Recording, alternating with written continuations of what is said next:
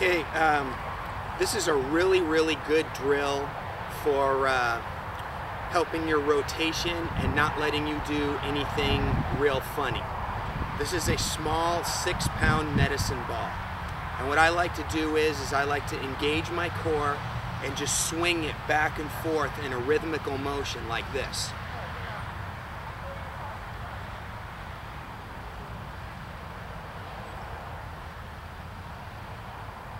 And not only does it build strength in your in your stomach, um, it doesn't allow you to do anything stupid with your golf swing.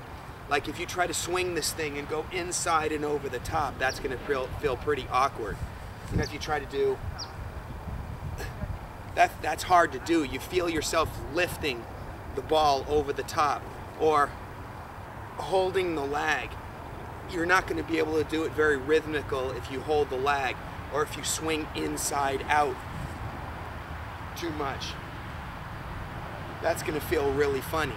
So if you just get up here,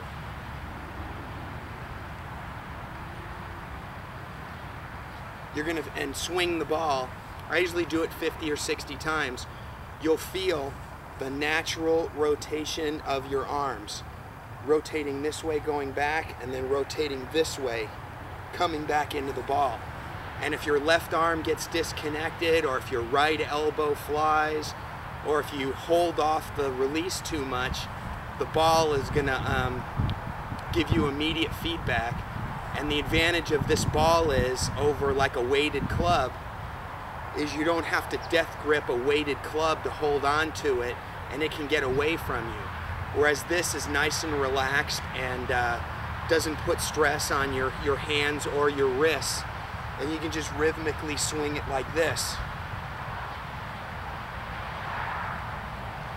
And it helps you feel what uh, natural rotation feels like.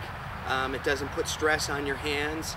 Um, it's good for your rhythm and you can't really implement any funny cliches like I've already discussed or widening the arc or uh, you know any, any of the fun cliches that I like to make fun of. It's really hard to implement those swinging this medicine ball in a nice rhythmical fashion.